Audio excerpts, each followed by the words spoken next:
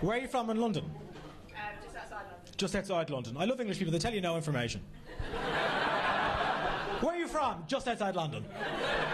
The rest of the world is where you're from, then, is it? You're from France. I'm just outside London. Yeah, Europe. Uh, I think English people think that I'm going to follow them home. Like, you go home to your house and I'll be ah, top of the morning here.